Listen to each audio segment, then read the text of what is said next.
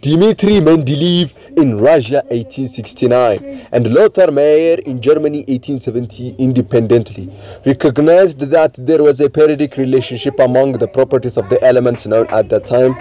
Both published tables with the elements arranged according to increased atomic mass.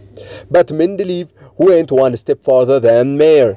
He used his table to predict the existence of elements that would have the properties similar to aluminum and silicon, but were yet unknown. The discoveries of gal gallium 1875 and germanium 1886 provided great support for Mendeleev's work. Although Mendeleev and Meyer had a long dispute over priority, Mendeleev's contributions to the development of the periodic table are now more widely recognized. So in this figure you have watched Dmitry Mendeleev he was widely spread about the periodic table from the n elements, which can be categorized with the group period or series with the vertical column and the horizontal column, which he stated the earlier time of the periodic table and their classifications.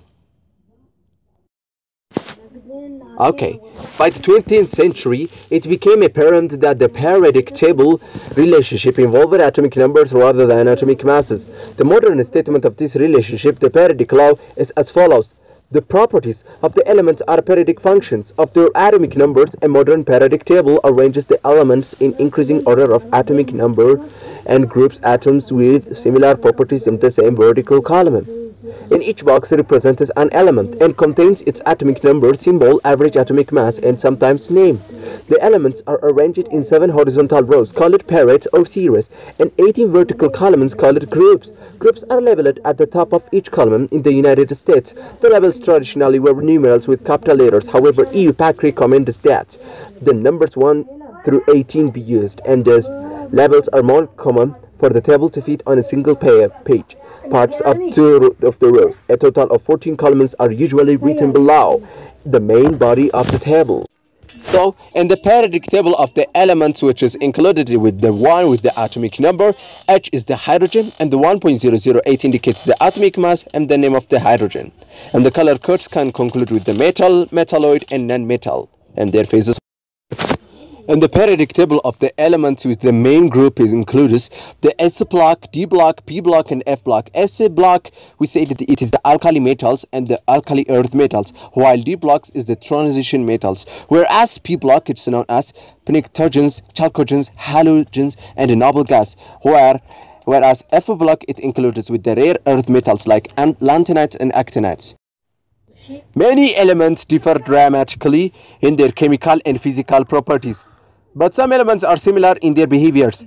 For example, many elements appear shiny, are malleable, able to be deformed without breaking, and ductile, can be drawn into wires, and conduct heat and electricity well. Other elements are not shiny, malleable, or ductile, and are poor conductors of heat and electricity. We can sort the elements into large classes with common properties metals, elements that are shiny, malleable, good conductors of heat and electricity, shaded yellow, but non-metals, elements that appear dull, poor conductors of heat and electricity, shaded greens, and metalloids, elements that conduct heat and electricity moderately well, and possesses some properties of metals and some properties of non-metals, shaded purple. The elements can also be classified into the main group elements or representative elements. In the columns labeled 1, 2, and 13, 18, the transition metals in the columns labeled 3, 12 and the inner transition metals in the two rows at the bottom of the table. The top rows elements are called lanthanides and the bottom row elements are actinides. The elements can be subdivided further by more specific properties such as the composition of the compounds they form. For example, the elements in group 1, the first column, form compounds that consists of one atom of the element and one atom of hydrogen. These elements except hydrogen are known as alkali metals and they all have similar chemical properties. The, the elements in group 2, the second column, form compounds consisting of one atom of the uh, element and two atoms of hydrogen.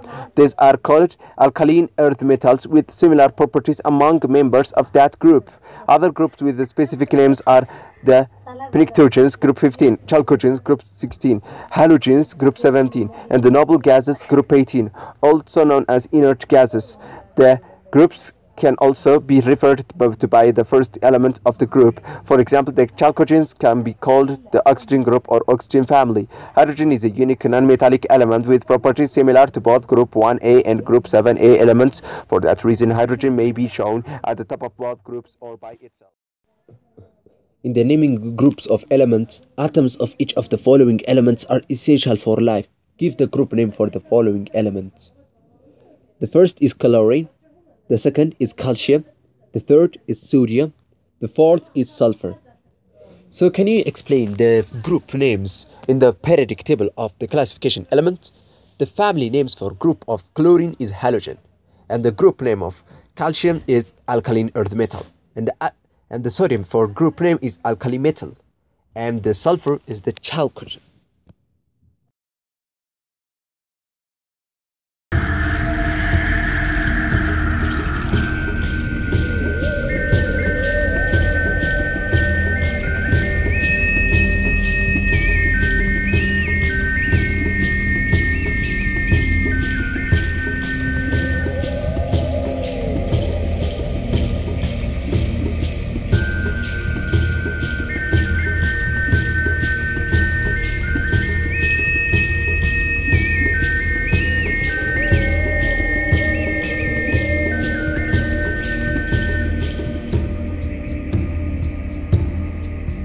Periodic table, you might have noticed something about the atomic masses of some of the elements. Element 43 technetium and element 61 promethium and most of the elements with atomic number 84 polonium and higher have their atomic mass given in square brackets. This is done for elements that consist entirely of unstable radioactive isotopes. You will learn more about radioactivity in the nuclear chapter, chemistry chapter.